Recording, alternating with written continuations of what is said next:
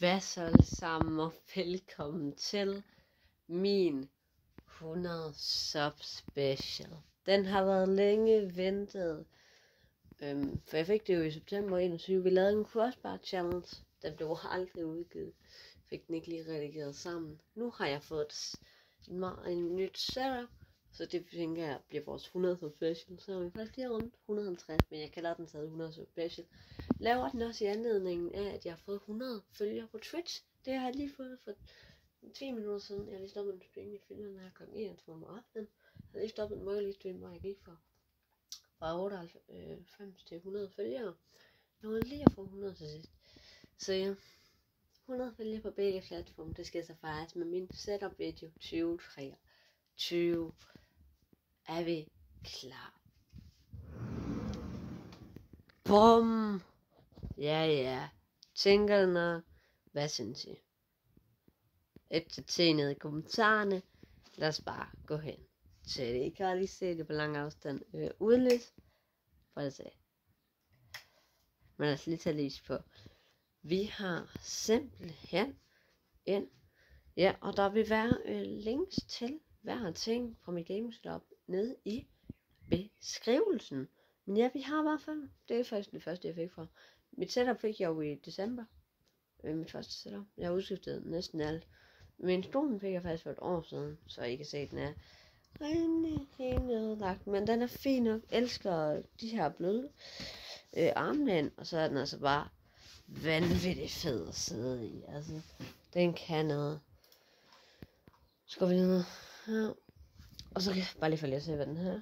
Det er en øh, stol fra Jysk næsten hele mit setup er faktisk fra Geek. Jeg tror kun... Ja, det er det vel. Jeg tror kun, det er stolen. Den er fra Jysk, men det var fordi min, det var mine forældre, der købte den. Ja. Men ja. Sorry. ja, men øh, lad os gå videre til øhm, musemotten. Vi har to musemotter. Øh, begge øh, tra, uh, 40, 90, 40, og kan jeg se det på musmanden? Okay, okay. Men jeg har i hvert fald to øh, musmotter. Og bare, jeg har vundet det helt, øh, jeg har fået Gamer Gear til 3000 har jeg vundet. Øh, det er derfor sådan noget der. Den her, den fik jeg købt for sådan 80 kroner. Altså det var min, øh, min musemod tidligere. En Don One musemod, som I kan se her, meget basic. Der står bare Don One, og så den helt mørk. Helt sort. Men godt, den ligger under her. Den er lige til den anden skærm. Her. Øhm, men ja, som I kan se, så har vi også den anden. Må som selvfølgelig er en geek, som jeg har vundet. Vanvittigt, eller tænker det. Så har vi noget, øh, noget, øh, noget headset her. Godt headset. Jeg ønskede mig faktisk lidt en, en uden snor, men øhm, der var simpelthen ikke flere på lager. Og ja, så øhm, så vandt jeg jo den her i giveawayen, og så vandt jeg den. Ja, og så vandt jeg den flot morgen. Men ja, det er et, øh, hvad hedder det, et, øh, kan I finde det? Et Have It Game Now a Headset øh, H220 med, med ledning. Ja, jeg vandt det i giveawayen, så, så er det bedre end det, jeg havde. Så jeg, vandt også et webcam, som det samme, som jeg har, bare i et andet mærke, så det er jeg ved at sælge, og så vandt jeg den øh, mikrofonen, som jeg allerede har, og så vandt jeg gigmusmotten, musen og tastaturet. De ting vandt jeg. Det var det 3000. Så ja, vi har en, øh, en Geekcaster, som I kan se her som mikrofon. Vanvittigt til. Altså. Jeg tænker, jamen, når jeg lige ser den. God mikrofon, se den her. Altså, bum. Man behøver egentlig ikke det her fordi den har det her, men jeg synes, det ser fedt nok ud. Øhm, og jeg kan have min nose flot, så det er da ikke meningen, den står der. Den står faktisk herovre. Min, min, mit headset har den for sådan, så game sidder sådan, når jeg gamer. Øh, ja. Men jeg har den bare lidt hernede. Så har vi musen i gang. Ja. Håber selvfølgelig, at vi har det godt derude. Musen, det er en Geeked Scope Gaming Mouse i sort, som faktisk havde honeycomb. Men jeg kan ikke så godt lide at holde ved en honeycomb mouse. Øhm, så ja, jeg har kun honeycomb herop. Jeg synes ikke, det er så fedt. Så jeg har valgt om at tage en ikke honeycomb på, og så spille med den. Og jeg kører egentlig udmærket, bedre end jeg havde før. Ikke lige så fedt med LED-løsen, men der er der lidt.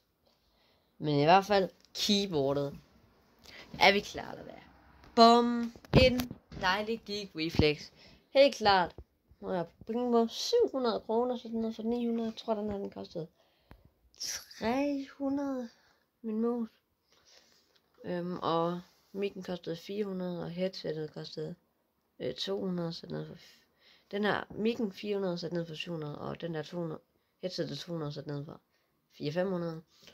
Øhm, ja, så jeg kan godt lide... og så... Ja, jeg ved ikke lige med det her. Det har jeg ikke undersøgt med musemod. Men i hvert fald et Geek Reflex tastatur, meget mindre end det, jeg havde, som jeg så i min 14-års fødselsdag. Øhm, rimelig lækker. God taster. Øh, ingen, ingen på. Og så øhm, alt det her med F, det var jo heroppe. Der skal man så trykke FN, og så kan man få alle de der tegn. Så meget mindre lækkert keyboard. Og videre til webcam, som er det samme for Done one. Jeg øh, vandt det samme bare i geek udgave.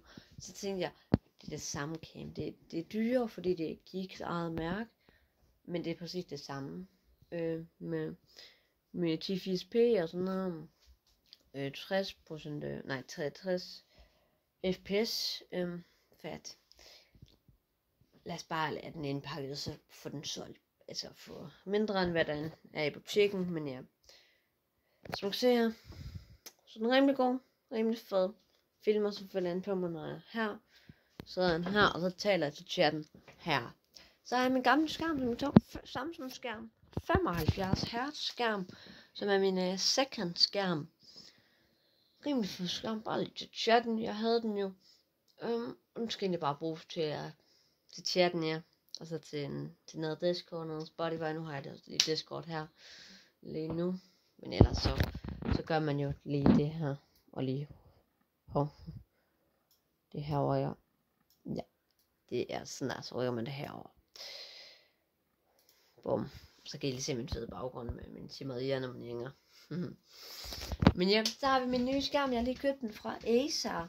Øh, den der kostede 800 kroner, den her den kostede 1100 og 70, tror jeg, det der var 870. Men ja, det er 165 Hz skærm med 24 tommer i. En lækker skærm, og den her, den har mistet to søm, så den står sådan her. Som I kan lige se her bagved. Så står den også sådan her, den kan ikke være sådan her, så falder den af, altså. Så den her net, så derfor har jeg valgt at købe den. Også på grund af chat, men også fordi sådan at I kan sikkert lige se det. Så det her, det er lidt mere bad. Rimelig lækkert. Og by the way, hvordan vi øh, wait det her monster om bagved? så har jeg bare lige mit navn, og så bare lige et monster. Og så har jeg også lige min yndlingsbil nogensinde. Her, BMW i8 Roadcoaster. Coaster. Jeg vil helst have den. Øh, det er min, yndling, det er min drømmebil, bare i, i hvid. Men ja, det er mine to lamper. Så har jeg fået den her øh, nye. Øh, det er når det er aften. Så kan jeg lige få noget hvidt lys her. I kan lige se, når det her er slukket. Så kan I se det her. Hvor fedt det er. Meget meget lys ud der. Fordi hvis jeg har den her op, når jeg har åbent vindue, så kommer der alt for meget, øh, når det er solskin ind. Så tænk tænker bare noget hvidt lys. Så ja, har den sådan her. Rimelig lækkert, som I kan se. Rimelig fedt lys at have, så det ikke er alt for mørkt og, og gamey. Fordi jeg ikke gider have det der lys sendt. Men ja, har jeg selvfølgelig en masse pokaler her. En Julix autograf. Øhm, ja, og bare den der, den vandt jeg søst, fordi jeg lavede hat-trick. Men med det, så kommer vi lige herned. Åh, oh, her. Kabelsmandsmentet kunne forbedres. Vi har den her, det ser rimelig grimt ud.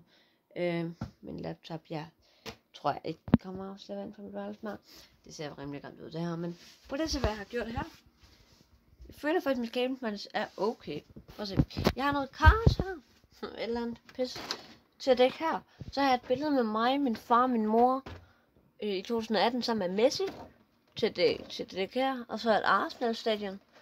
Og så Alexis Sanchez i Arsenal, og så en United. Der har vi det her om bagved, fordi det er jeg ikke fan af. Det var min mor, hun printede sådan en her ud. den har vi der om bagved. Sådan til at dække lidt ledningerne. Øhm, så ja.